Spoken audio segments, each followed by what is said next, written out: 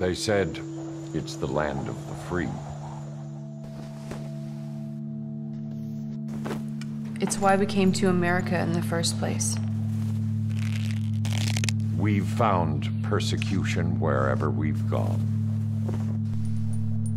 We have moved on.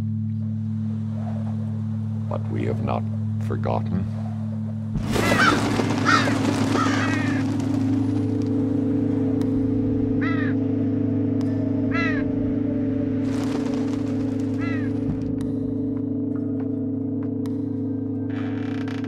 Honey, I'd like you to meet the Sklar family. Hi.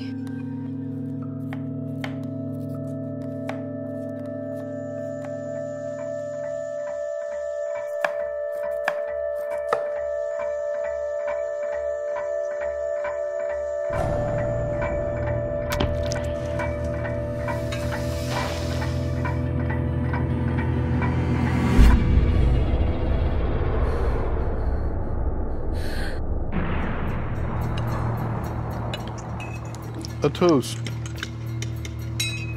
to Rose and Aggie and your future life together. We all look forward to celebrating your wedding just the way you wanted it.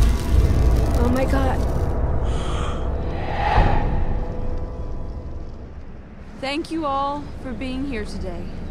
Blessed, all of you. Are you ready? What is born of flesh dies of flesh.